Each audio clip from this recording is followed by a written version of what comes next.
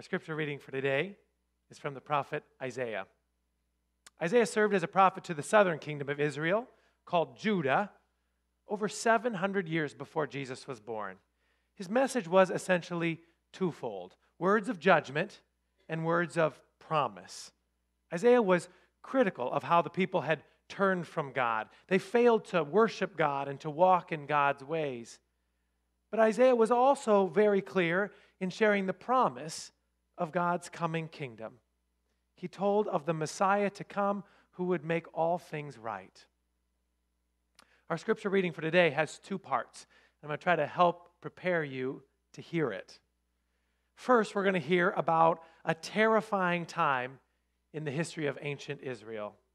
The Assyrian Empire had risen to power and had conquered all the surrounding nations, including Hamath and Arpad and Sepharvaim and the northern kingdom of Israel called Samaria. The southern kingdom of Israel, Judah, was next on their agenda. King Sennacherib of Assyria sent the Rabshakeh, like his foreign ambassador, to Judah with a message. Rabshakeh met with the king's court, Eliakim, Shebna, and Joah. And in their own language, the Rabshakeh taunted them to convince them to just give up and surrender. He told them their God couldn't save them, that it would be better just to give up. Well, King Hezekiah, who was one of the few good and faithful kings over the years, was deeply distressed by this. So he tore his clothes and put on sackcloth, which is how they showed grief and fear. He'd already witnessed the destruction of the northern kingdom, and he was afraid for his own people. So he sent his chief of staff, Eliakim, to the prophet Isaiah, asking for prayer. Isaiah told them not to be afraid, to hold on, and that God would take care of them. That's the first part of our reading. In the second part of our reading, in chapter 2, Isaiah offers a beautiful vision of a glorious future. All nations will worship the one true God and live in God's righteous ways. War and violence will be a thing of the past. We won't need swords or weapons anymore, only plows and gardening tools. Our readers can come forward as we listen to these holy words from the prophet Isaiah. We hear the voices of the narrator the Rabshakeh of Assyria, Eliakim of Judah, and the prophet Isaiah. And I'm going to put that chart back up there to help you keep things a little straight. In the 14th year of King Hezekiah, King Sennacherib of Assyria came up against all the fortified cities of Judah and captured them. The king of Assyria sent the Rabshakeh from Lachish to King Hezekiah at Jerusalem with a great army. He stood by the conduit of the upper pool on the highway to the fuller's field. And there came out to him Eliakim, son of Hilkiah, who was in charge of the palace, and Shebna, the secretary, and Joah, son of Asaph, the recorder. Then the Rabshakeh stood and called out in a loud voice in the language of Judah Hear the words of the great king, the king of Assyria. Thus says the king Do not let Hezekiah deceive you, for he will not be able to deliver you. Do not let Hezekiah make you rely on the Lord by saying, The Lord will surely deliver us. This city will not be given into the hand of the king of Assyria. Do not listen to Hezekiah, for thus says the king of Assyria. Make your peace with me, and come unto me. Then every one of you will eat from your own vine and your own fig tree, and drink water from your own cistern, until I come and take you away to a land like your own land, a land of grain and wine, a land of bread and vineyards. Do not let Hezekiah mislead you by saying, The Lord will save us. Has any of the gods of the nations saved their land out of the hand of the king of Assyria? Where are the gods of Hamath or Arpad? Where are the gods of Sepharvaim? Have they delivered Samaria out of your hand? Who among all the gods of these countries have saved their countries out of my hand, that the Lord should have Jerusalem out of my hand? When King Hezekiah heard it, he tore his clothes, covered himself with sackcloth, and went into the house of the Lord. And he sent Eliakim, who was in charge of the palace, and Shebna the secretary, and the senior priest, covered with sackcloth, to the prophet Isaiah, son of Amoz. They said to him, Those say, Hezekiah, this day is the day of distress, of rebuke, and disgrace. Children have come to the birth, and there is no strength to bring them forth. It may be that the Lord your God hear the words of Rabshakeh, whom his master of the king of Assyria has sent him to mock the living of God. And he will rebuke the words that the Lord your God has heard. Therefore, lift up your prayer for the remnant that is left. When the servants of King Hezekiah came to Isaiah, Isaiah said to them, Say to your master, Thus says the Lord, Do not be afraid because of the words that you have heard, with which the servants of the king of Assyria have reviled me. I myself will put a spirit in him, so that he shall hear a rumor and return to his own land. I will cause him to fall by the sword in his own land. This is the word that Isaiah, son of Amoz, saw concerning Judah and Jerusalem. In days to come, the mountain of the Lord's house shall be established as the highest of the mountains, and shall be raised above the hills. All the nations shall stream to it. Many people shall come and say, Come, let us go up to the mountains of the Lord, to the house of God of Jacob, that he may teach us his ways, and that we may walk in his paths. For out of Zion shall go forth instruction, and the word of the Lord from Jerusalem. He shall judge between the nations, and shall arbitrate for many peoples. They shall beat their swords into plowshares, and their spears into pruning hooks. Nations shall not lift up sword against nation, neither shall they learn war any more. Or, house of Jacob, come, let us walk in the light of the Lord. The word of the Lord. Thanks, Thanks be to God.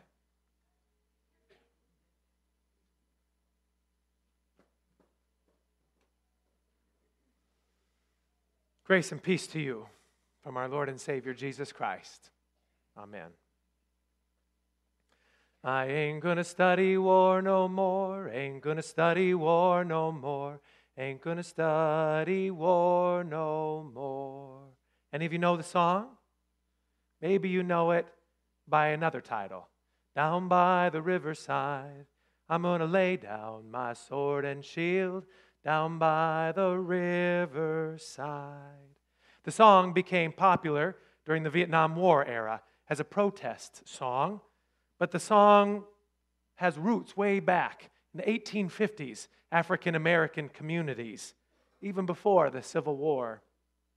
The inspiration for the song is Isaiah's glorious vision of peace, of a world where swords would become plows and spears become pruning hooks, of a world where nation will not fight against nation and people shall not learn or study war anymore.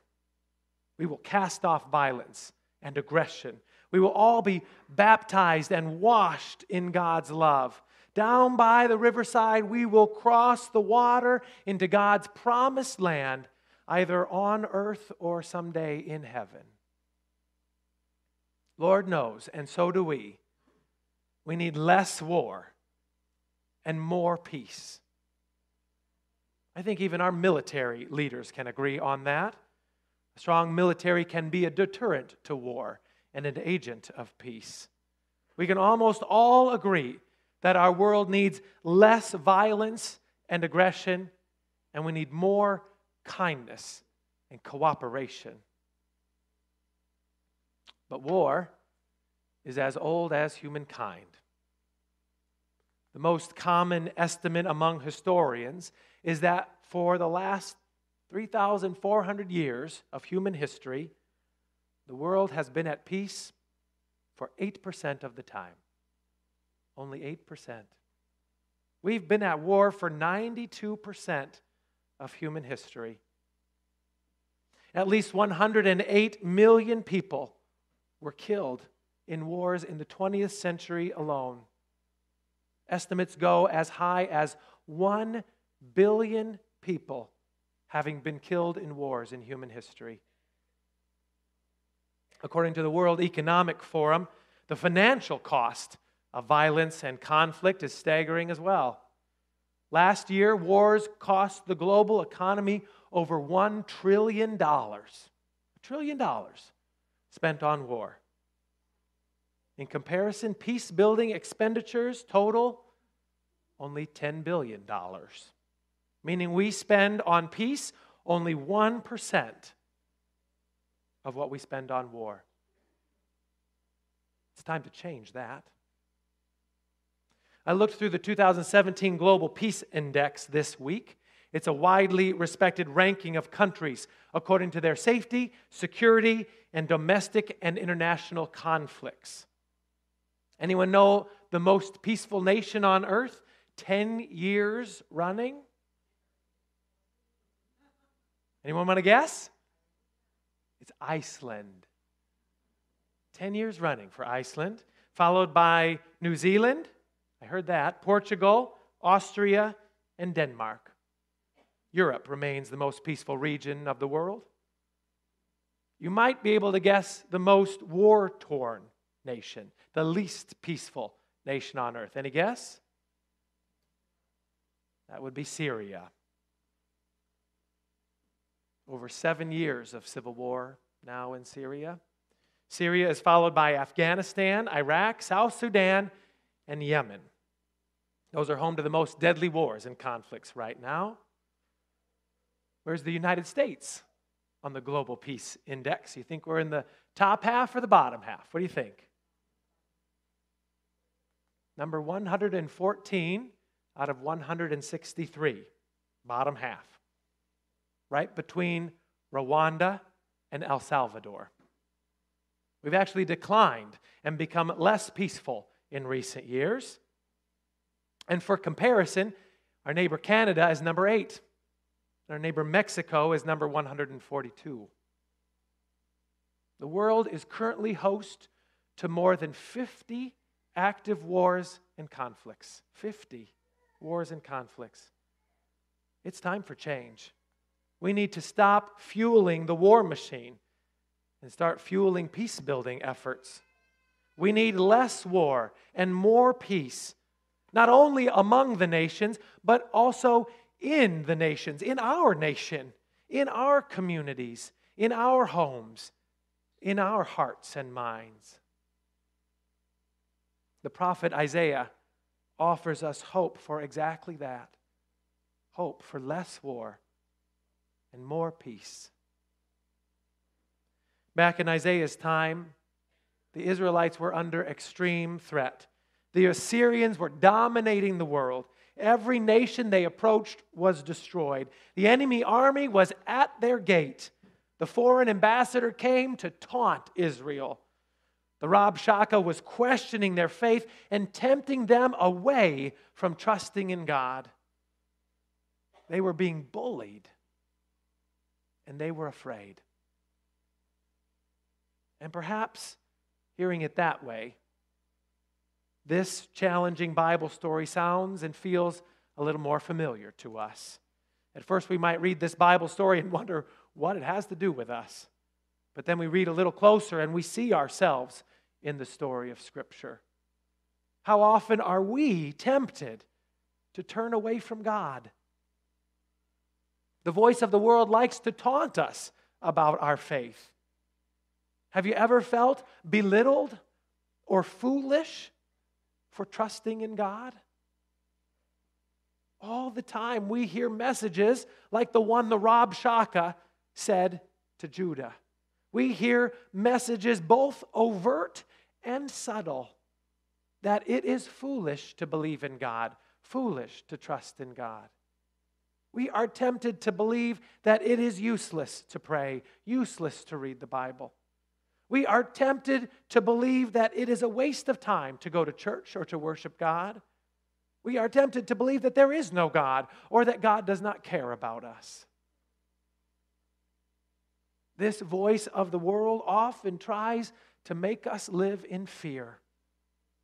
And it is easy and tempting to live in fear. The world tries to tell us who to be afraid of. This fear can rob us of our peace. This fear can compel us into war with one another and within ourselves. What is it that you are afraid of? Are you afraid of the unknown, of the future, of losing control? Are you afraid of letting go, letting go of grudges or resentments or worries? Do you worry about having enough? Enough money or time or resources? Are you afraid of illness or death or of losing someone you love? Are you afraid of being left behind or being forgotten or being inadequate? Fears such as these rob us of the peace God has for us. The voice of fear robs us at every level. On an international level, these fears lead us to go to war with other nations. If a nation is afraid of not having enough, or, or of being enough, or of controlling enough, it wages wars with those it fears threatens it. On an interpersonal level, these fears lead us into conflict and bitterness with one another. On an individual level, these fears plague our minds and our hearts, and they steal our peace. Fear robs us of God's peace. When King Hezekiah was being taunted and tempted, when King Hezekiah was worried and afraid, when King Hezekiah didn't know what to do or what to think, he acted with faith. He turned to God. He prayed to God.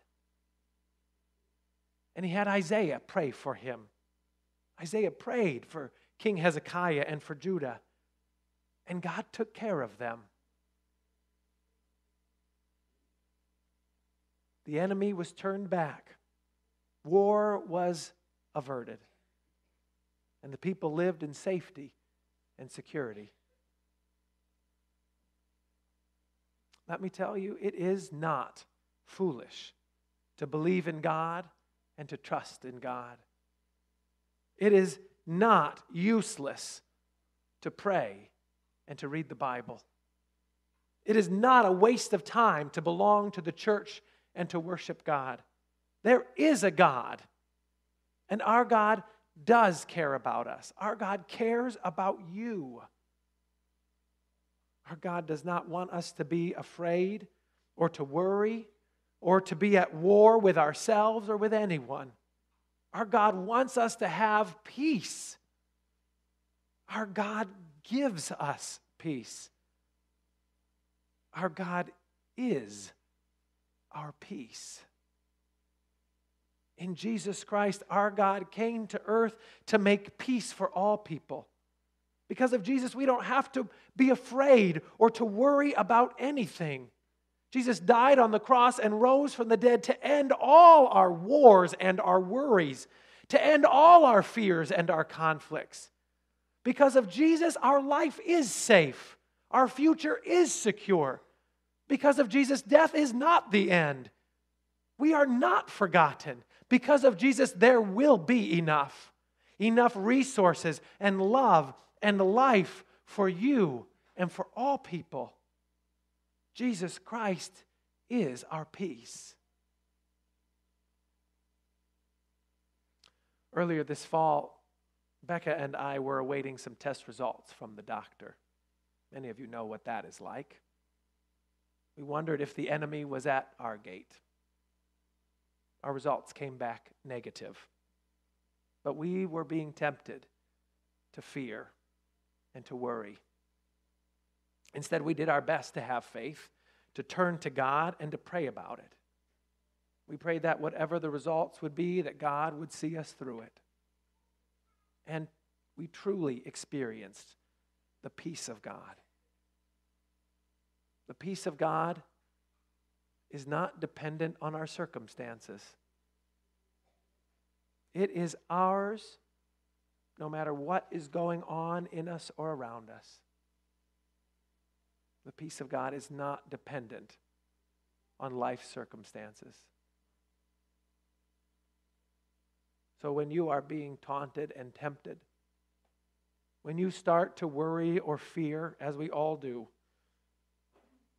when you don't know what to do or what to think, have faith. Turn to God. Pray to God. God will take care of you. God has peace for your heart and your mind. Through Jesus Christ, God's peace is yours no matter what is going on in you or around you. And through people like you and me, God is bringing peace to our world and peace to the nations. God is bringing a day when nations shall not lift up sword or gun or missile or bomb or nuke against any other nation. God is bringing a day when we will beat our swords into plowshares our spears into pruning hooks, our weapons into acts of kindness, our hateful words into handshakes. God is bringing a day when we will not learn or study war anymore, starting with you and me. Instead, we will walk as one in peace in the light of the Lord. Together, we lay down our burdens. We lay down our swords and shields, and we study war no more. We turn away from war and violence and aggression, and we turn toward peace and kindness and cooperation. Through Jesus Christ, the Prince of Peace, hearts are turning, minds are turning, and our world is turning toward less war and more peace. And the peace of God, which surpasses all understanding, will guard our hearts and minds in Christ Jesus our Lord. Amen.